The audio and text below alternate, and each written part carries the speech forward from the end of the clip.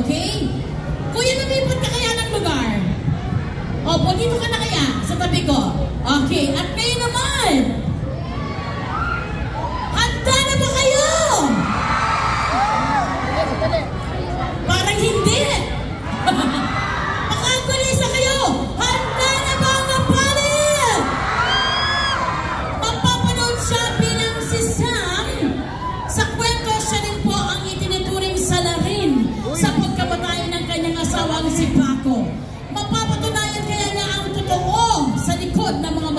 misteryo. Mga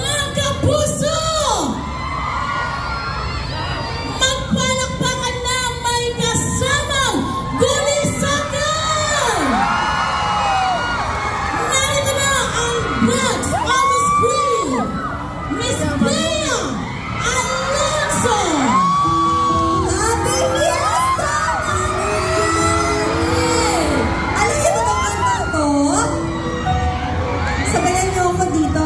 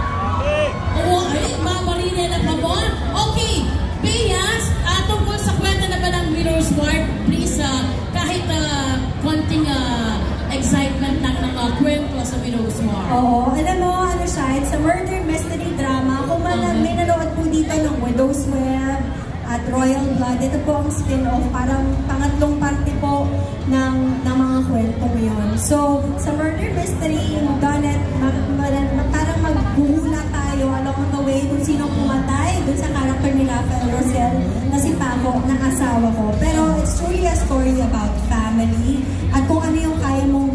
gawin at ibigay para protektahan ang pamilya mo. Mas mabangis na Bea Alonso ba ito sa Widow's Siguro. War? Sa tingin ko, ito na ito yung pinakamatapang. O, na- buwa guys ha, panoorin niyo po at i-share yung kanilang vlog na ipinanood kanina, ay na pinalabas natin kanina. At pag-usapan naman natin ang iyong character, kung paano yung paghahanda mo sa role na ito bilang ah, si Sam. Ay, yung character ko dito, best friend ko si Carla, na ng problema until um, pinakasalan ko si Paco na pinsan pala ng asawa ni Carla. So, ang maganda dito yung character ko kasi pagpasok ko dun sa pamilya ng mga palasyos, parang nag-iiba rin yung ugali niya. Parang dahil na-face siya sa maraming challenges, parang natatest yung pagkatao niya. Oo. Actually, it's a kontrabida ka ba o bida dito. Kaya, ga- Yan. sa July 1, malalaman na ba yan? Yes, sa? Monday na! Panoorin niyo po sa GMA Prime. Gabi-gabi po at 8.50 Yes, pagkatapos ng Black Rider. Pagkatapos, pagkatapos ng Black Rider. Sana po supportahan ninyo.